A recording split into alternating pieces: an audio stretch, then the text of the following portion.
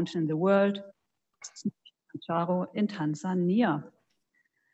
And first of all, I would give you, I would like to give you an outline of what I'm going to talk to you about today. So I would like to start with a general introduction. Then I would like to talk about the patterns and drivers of mammal and dung beetle diversity. Afterwards, I would like to discuss ecosystem services provided by dung beetles before ending with a general discussion. Let's start with a general introduction. So biologists have been fascinated with the uneven distribution of biodiversity around the globe since the time of Darwin, Wallace, and Alexander von Humboldt.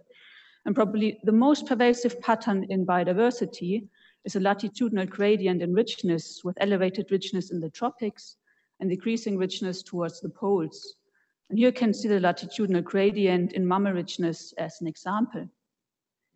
Even though the latitudinal gradient in diversity belongs to one of the best described patterns in ecology, the mechanisms behind this pattern are controversial until today, and many hypotheses have been proposed to explain this pattern in diversity.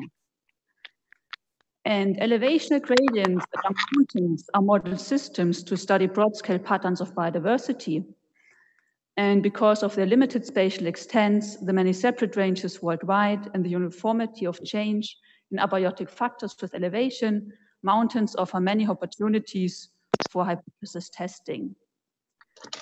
Today, I would like to take you on the extension elevation gradient of Mount Kilimanjaro. And first, I would like to introduce you to my study organisms. So I was interested in ectothermic and endothermic diversity and how patterns and drivers may differ between those two groups. So as endothermic organisms, I chose mammals, as, and as ectothermic organisms, I chose dung beetles. And those two groups may appear to be very dissimilar, yet they are closely functionally related because mammals produce dung, which is used as a food and nesting resource by dung beetles. Mammals are of huge functional importance in ecosystems, and they provide ecosystem services such as seed dispersal, pollination, they're central for, for nutrient cycling and energy flow. And they're also, for example, important for the maintenance of habitat heterogeneity through herbivory, for example. Dung beetles are closely linked to mammals since they are closely coprophagous, and this means they feed on a microorganism rich liquid component of mammalian dung, and they use the more fibrous material to brood their larvae. And through their feeding and nesting behaviors, dung beetles contribute to a suite of important ecosystem functions and services. So dung beetles play a, play a key role in dung removal and nutrient cycling, and especially tunneler dung beetles are important for bioturbation because they move large quantities of earth to the soil surface during nesting. And the role of dung beetles in dung removal and nutrient cycling has been linked to increases in plant biomass, and the effect of nutrient mobilization of dung beetles on plant growth rivals that of chemical fertilizers. And through their activity and their breeding and nesting behavior, dung beetles suppress macro and micro invertebrate parasites. And finally, they are also known as secondary seed dispersers. And the most particular biological feature of dung beetle is their dung beetles is their breeding behavior. And according to their breeding behavior, they can be divided into three behavioral or functional groups. And those two groups, those three groups are first the dwellers or endocoprids, and those are the most primitive of dung beetles as regards to breeding behavior. And they nest directly in the dung and eat their way through the dung. And mostly they don't construct any brood chambers for their brood. Whereas tunneler dung beetles dig more or less vertical tunnels below the dung pad where they transport dung into those burrows, and those burrows and then the dung in those burrows can be used for feeding and breeding. And then there are the roller dung beetles who evolved the ultimate dung beetle skill of rolling a dung ball. And this is a transportable resource. And they transport this ball for a longer, shorter distance before burying it into a suitable spot in the ground. And there's also a fourth group of dung beetles, which is called kleptoparasites. It's a specialized group, and they parasitize the nests of tunnelers and roller dung beetles. To introduce the study organisms. And next, I would introduce you, I would like to introduce you to the factors which might influence mammal and dung beetle richness. And I would like to start by mammal richness. Te mandé una cosa para hoy por la noche, ¿quieres ver? Source availability is often considered the major driver of animal diversity. And under the resource, the resource availability hypothesis states that energy limits the occurrence of species and that more productive ecosystems can harbor more and larger populations than less productive ecosystems. And primary productivity is often taken as a proxy for energy or resources. And under the resource availability hypothesis, we expect to see a positive impact on mammal richness. And in these diagrams, you will see in blue positive relationships and in red negative relationships. Okay, what's that? So we thought that primary productivity is mainly impacted by temperature and precipita- precipitation. We also expected to see a positive impact of temperature on mammal richness. And this I call the temperature speciation hypothesis. And this hypothesis states that temperature limits the occurrence of species due to physiological constraints and by accelerating ecological and evolutionary rates. Then, oh, sorry. What's going on? Now it's working. Then there's the water availability hypothesis, and this hypothesis states that water limits the occurrence of species either due to direct dependencies of water or via indirect energy related effects. So we also considered the area effect, and the area effect states that larger areas can sustain more populations than smaller areas. And this is why, because Mount Kilimanjaro is a conical mountain, we expected to see a negative impact of increasing elevation, that is decreasing area on wild, mammal richness. Then we also looked at land use, and we expected land use to exert negative impacts on wild mammals as well as on primary productivity. Then we also looked at domesticated mammals, and we expected that domesticated mammals have a negative impact on wild mammals because to because to um, factors like they share the same habitat or they might even um, they may even distribute diseases to wild mammal richness. And we expected domesticated mammals to be impacted by primary productivity, as well as by a positive impact of land use, because domestic mammals are mostly found in anthropogenic habitats. Then we also looked at the protection status of study plots, and we expected that especially larger mammals are more dominant in protected habitats than in unprotected habitats, because in anthropogenic habitats, especially large mammals are vulnerable to hunting and disturbance. And we expected protection to have a negative impact on domesticated mammals. And this is the whole path diagram showing all the factors we considered for mammal diversity. And now I would like to move to dung beetle diversity. And for dung beetles, because dung beetles depend on mammalian dung resources as a food and nesting resource, we tried to measure the dung occurrence for dung beetles on Mount Kilimanjaro in the field. And for this, we estimated mammalification rates. And again, under the resource availability hypothesis, we expected to see a positive impact of mammalian dung resources, which is mediated by net primary productivity on dung beetle richness via dung beetle abundance. Primary productivity is again impacted by temperature and precipitation.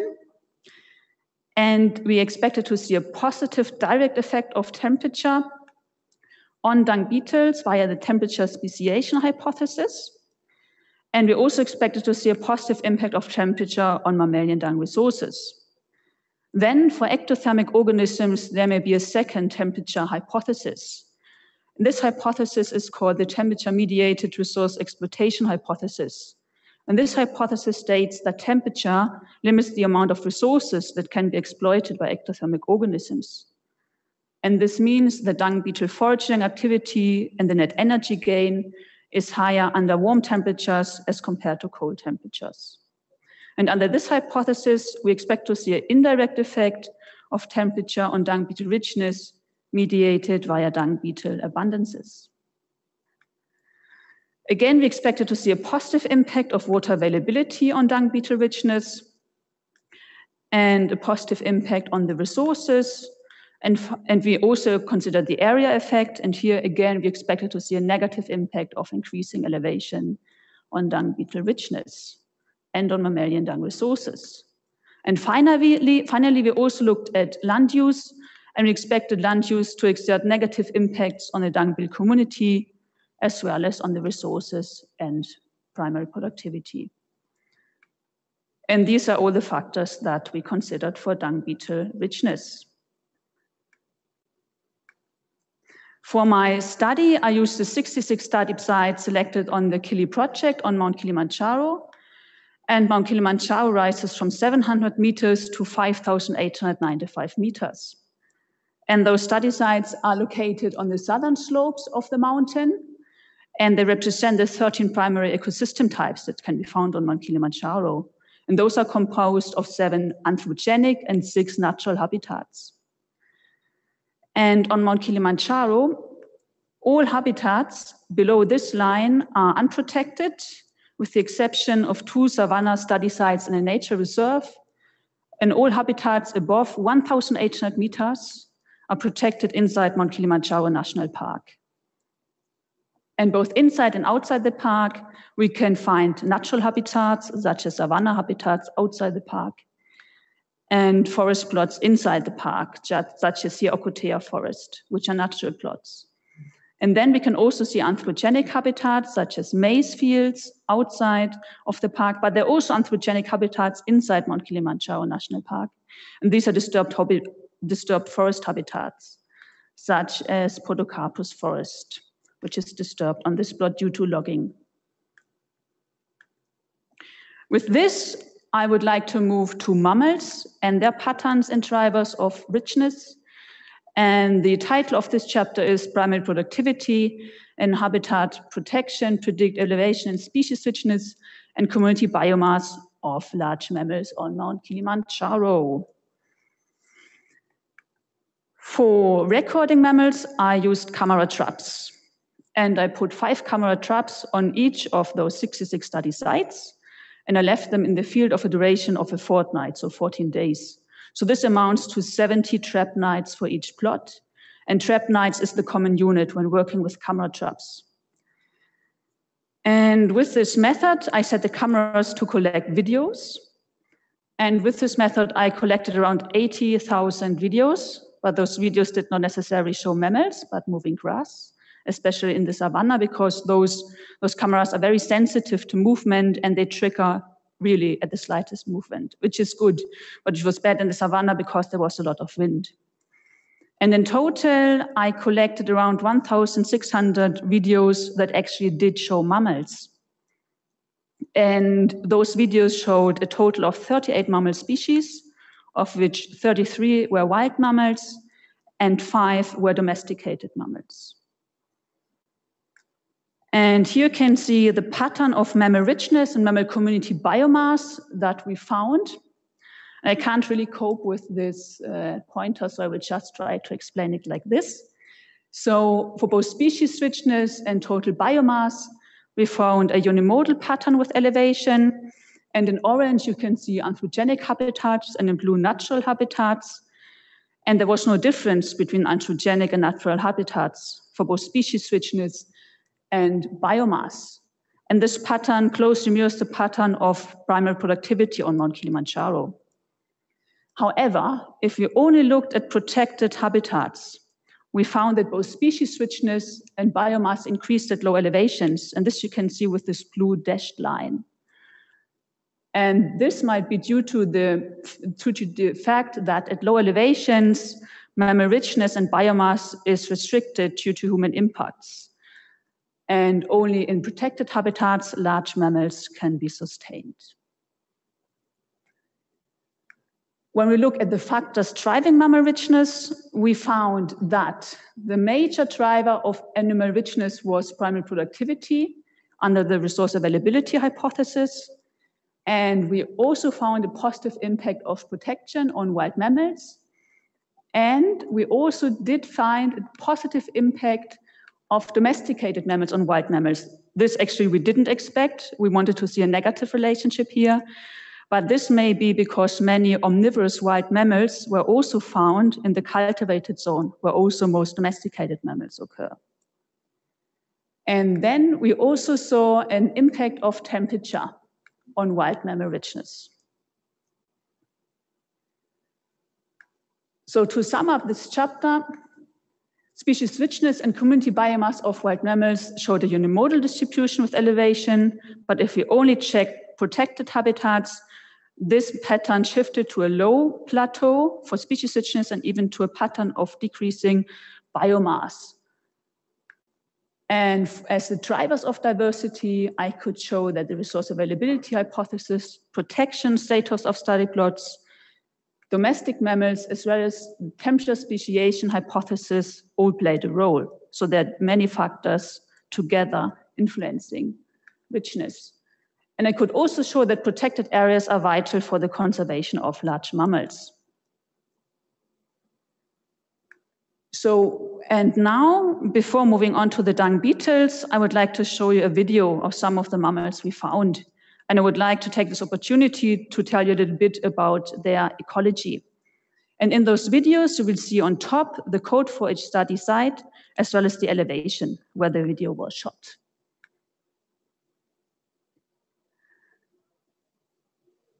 So the biggest highlight that we found was the Abbott's duiker.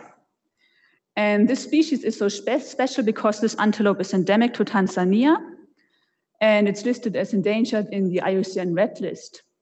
And you can see it's a glossy, nearly black duiker, and they also have a prominent crest of reddish hair between the horns. And they're restricted to a few mountains in south and east Tanzania and North Tanzania. And interestingly, the first photograph of the species was taken in 2003. And the first videos were taken in 2013 from the Udzungwa Mountains, which are located in East Tanzania. And those are the first videos of the species of Mount Kilimanjaro. And until now, little was known about the distribution of the species on Mount Kilimanjaro. And now, since we encountered the Abbott's duiker throughout the national park from 1,900 up to more than 3,800 meters, we can say that Mount Kilimanjaro is probably another stronghold of this species. And this is the first video ever of an Abbott's duiker pair. And here you can see a male trying to mate, but I'm not sure whether this worked out or not. And then we move on to the lesser kudu. This is one of our, of our nicest night shots. And here you can see those white markings on neck and throat. And those are characteristic features of the species. And lesser kudus belong to the spiral horned bovids, and the males carry horns. And they are adapted to deciduous bushland and thicket, so we often met them in the savanna, in those protected habitats. And they are browsers. It means they eat leaves and green stem and bark from plants in contrast to grazers who clip vegetation at or near ground level. And here you could just see a female leaving, followed by a young lesser kudu.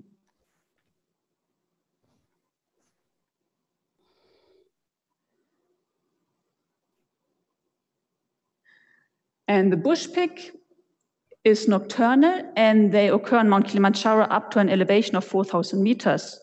And they communicate mainly through scent and sound.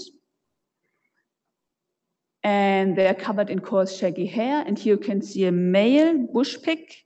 You can even see its short and inconspicuous yet rather sharp tusks. And yeah, they occur in groups of so-called sounders of up to 12 individuals. And here you can see such a sounder in the background. And the crested porcupine is a rodent and it's covered in black and white spines and it has a prominent crest of elongated spiny hair from head to shoulders. And it's a solitary forager, but they live in small family groups consisting of adult pairs and their young. And here you can see an adult pair.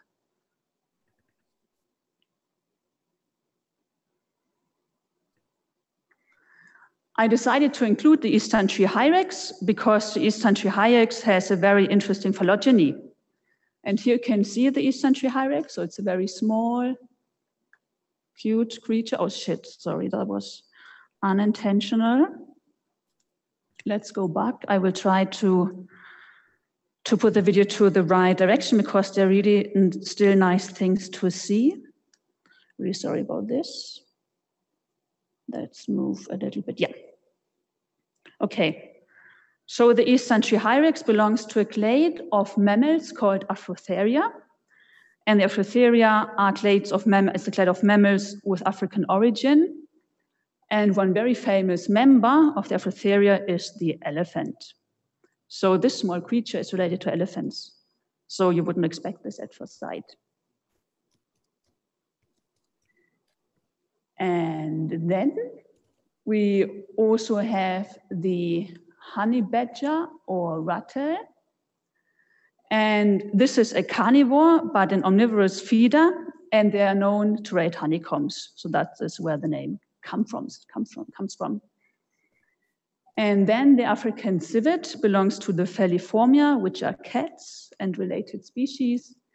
And this species is very well adapted to cultivation. So this may be one of the omnivorous species we found in the same habitats as the domesticated mammals. As well as the next species, the large spotted genet. This species is also very well adapted to cultivation. And here we filmed the genet on a coffee plantation.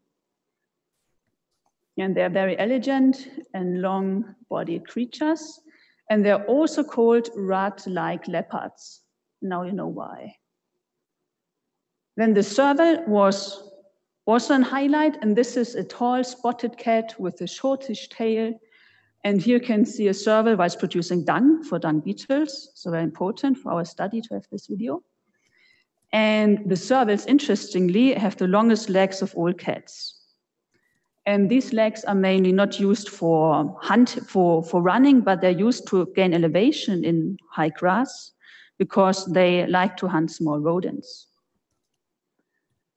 And servals occur from the grass savanna up to the montane zone, and they like habitats consisting of a mosaic of woodland, glades, and moorland. And we filmed the serval from 2,400 up to over 3,800 meters.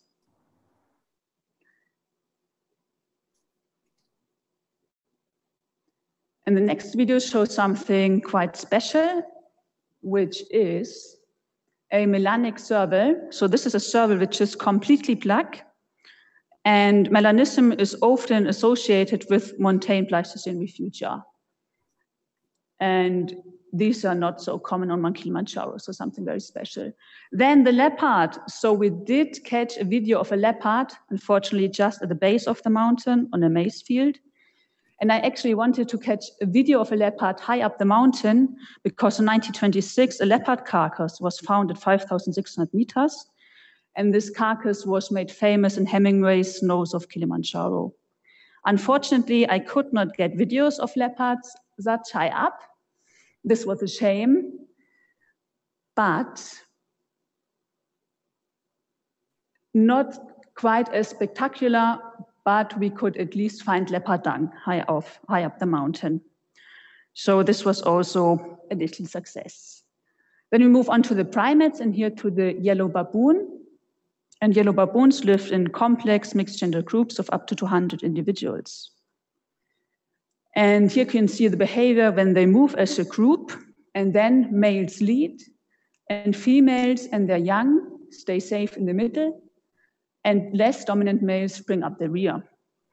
And female and young young baboons like to be carried by their mom, and that you can see in the background.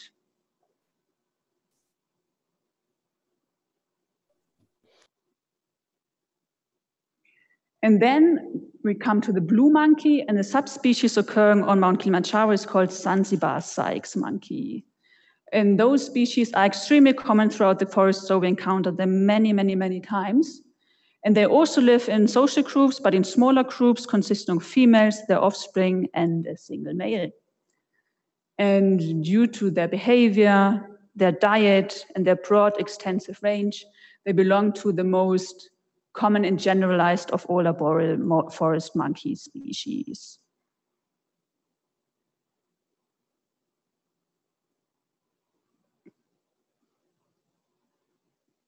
And then I would like to end this video with a Kilimanjaro black and white colobus. And this species is characterized by the tail, which is white from the base.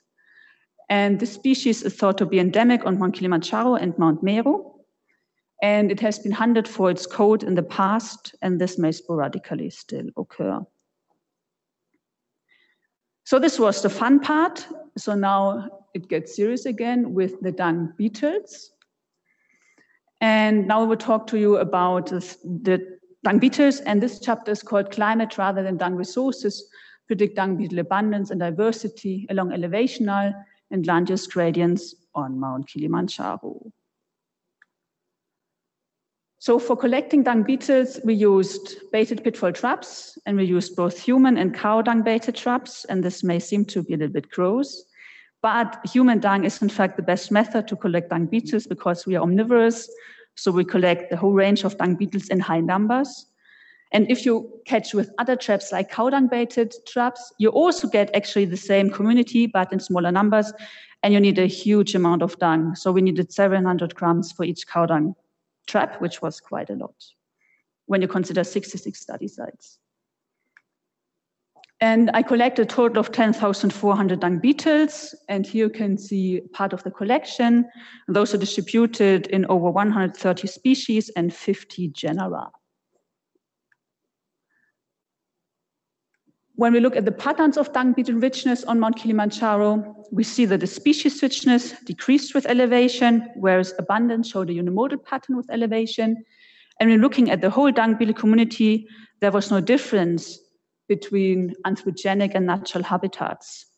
But as I introduced you to the different functional groups of dung beetles before, at the top you can see the tunnelers, then the rollers, the dwellers, and the kleptoparasites at the bottom.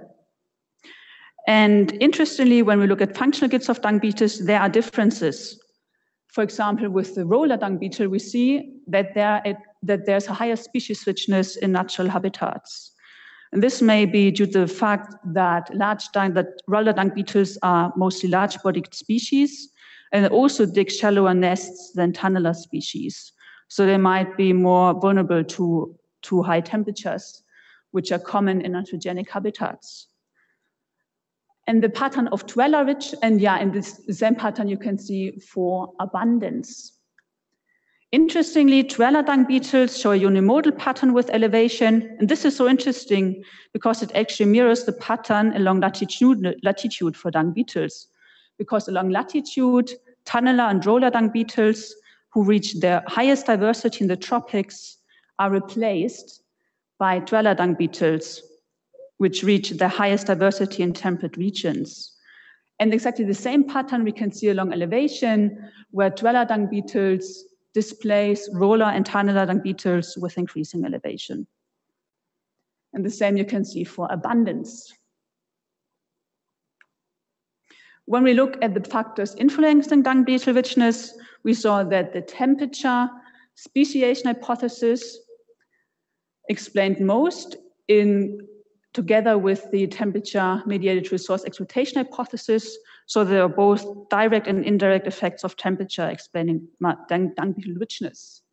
There was also a positive impact of water availability and dung beetle abundance was influenced by land use. Interestingly, I could not find an impact of mammalian dung resources on dung beetles even though we really tried hard to measure dung accurately in the field. So along the huge elevation gradient of Mount Kilimanjaro, temperature seems to be more important.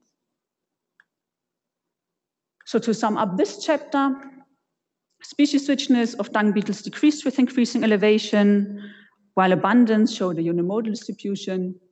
And as patterns of diversity, I could show that the temperature speciation as well as the temperature-mediated resource exploitation hypothesis explained most, together with the water availability hypothesis, and land use also played a role. However, there was no impact of resource availability on dung beetles. So with this, we come to the last chapter on dung beetles, which deals with dung beetle ecosystem services. This is called a correlative and experimental approach to dung decomposition by dung beetles. And dung beetles are model systems for biodiversity ecosystem function relationships. And this is because of the very cool resource they use, which is dung. So I hope I can convince you that dung is really cool and that it is worthwhile doing research on dung. And dung is a model system to study BAF relationships because dung occurs in ephemeral resource, resource patches, and such patches are spatially delimited and they can be quantitatively manipulated, replicated, measured, and sampled very easily. So it's perfect for doing biodiversity ecosystem function studies. And we did a dung removal experiment with three exclosures So we wanted to find out what happens if we exclude either large dung beetles or the whole dung beetle community and what effects this has on dung decomposition. So we had three treatments. We had open, unmanipulated cow dung pads where the whole dung beetle community could access. Then we excluded large dung beetles so that only small dung beetles had access to the dung. And here can also see the silhouette of a fly and a microorganism. And this should symbolize other small decomposers which can access the dung. We also had a control treatment where we excluded the whole dung beetle community to see what happens when dung is decomposed in the absence of dung beetles. And on each study plot, we randomized those three treatments and we put them in the corner of each plot, which was 50 times 50 meters square, large. And we also wanted to collect the dung beetle community at the same time. So we also put a cow dung baited pitfall trap on each study plot. And after 15 days in the field, I collected the remaining dung and measured the weights, the dry weights in the lab. And we had different expectations for low and high elevations. So from our diversity study, we knew the dung beetles are most reach the highest species richness at low elevations. So we expected that at low elevations, dung decomposition is highest when the whole dung beetle community can access, that it will be reduced when large dung beetles are absent, and that there will hardly be any dung decomposition when the whole dung beetle community is excluded. Conversely, at high elevations, we expected to see hardly any differences between the three treatments because we knew that at high elevations, dung beetles are largely impoverished or even absent due to adverse climatic conditions.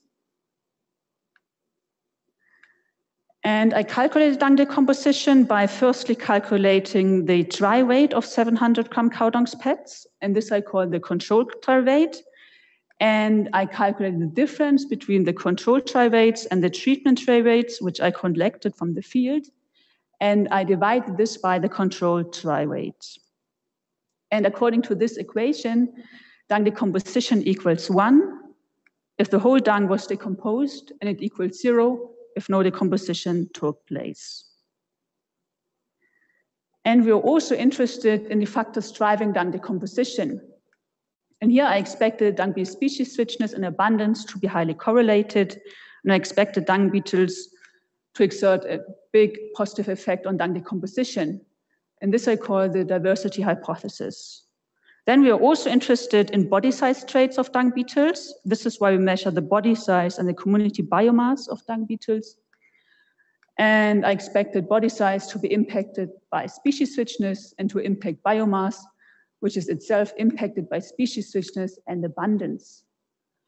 And we expected biomass and body size to have a positive impact on dung decomposition, and this I call the functional trait hypothesis. Then we also looked at temperature and we expected temperature to exert positive impacts on the dung beetle community, as well as on dung beetle functional traits and dung decomposition under the temperature hypothesis and the water availability hypothesis, where we expected also positive impacts. Then we also looked at land use, and there we expected to see negative effects on the dung beetle community as well as on dung decomposition. And finally, we included the treatment in our models that is open dung, half open dung, or closed dung, and we expect the treatment to impact on the dung beetle community.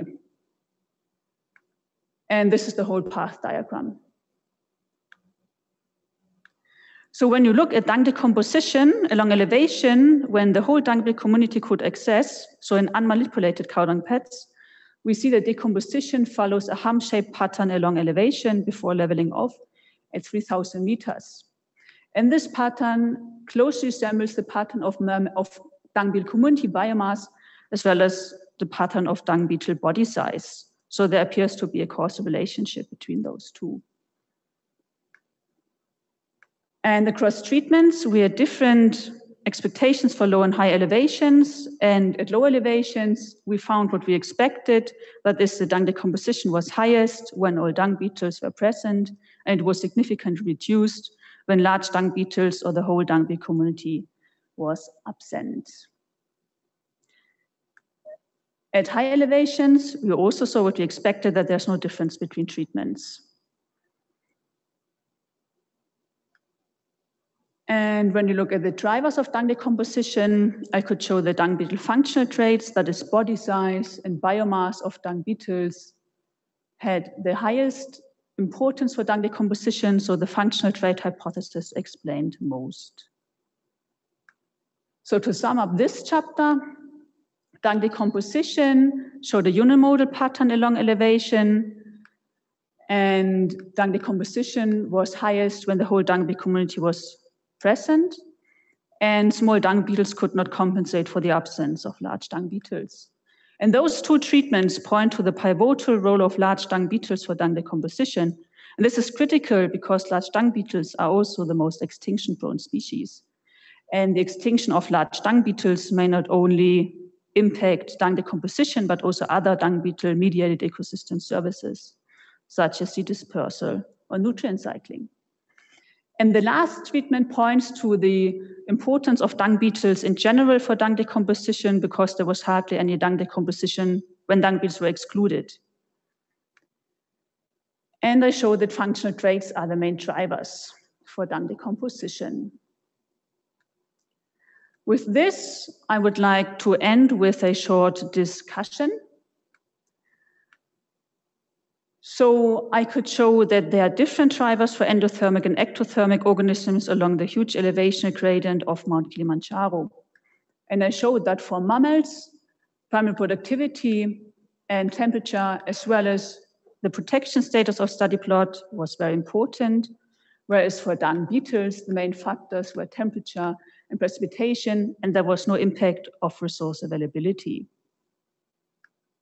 I also showed that large dung beetles are the most important for dung decomposition and that functional traits of dung beetles are important to assess when assessing dung beetle ecosystem services because otherwise you can't see those effects.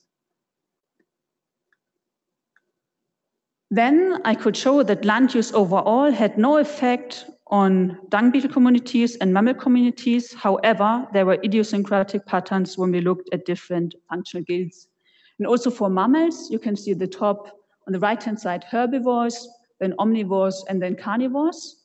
We can see, as for dung beetles, that there are different patterns when we consider different functional groups. And for mammals, we saw that herbivorous mammals showed indeed more a higher species richness in natural than compared to anthropogenic habitats. And this is most likely because most large mammals we found were actually herbivorous species, like the lesser kudu I showed you before. And for dung beetles, groups which show a specialized behavior show the strongest response towards, towards land use change. And both land use and climate change are the most important threats for global biodiversity. And climate change may have different impacts on endothermic and ectothermic organisms. And while endothermic organisms are more buffered against temperature changes, for ectothermic organisms, this may be different. And I could show that there's a positive impact of temperature on dung beetle richness, but if temperatures uh, increase, there might be negative effects, especially for large body dung beetles who could be pushed beyond their thermal limits, especially in anthropogenic habitats. And with this, I'm at the end of my talk. And I would like to thank my two supervisors, Ingolf Steffan-Dewenter and Marcell Peters, for their support. But the biggest thank you goes to the people who did the hard work, and these were my field assistants. And they carried, for example, over 185 kilograms of cow dung up the mountain. This was a huge amount of work, so thank you for that. So without them, this project would have just failed. So yeah, I'm very indebted to them. Then I would like to thank the Tanzania National Park authorities for granting research permits. And I would like to thank the DFG and the DRD for funding. And of course, thank you for your attention.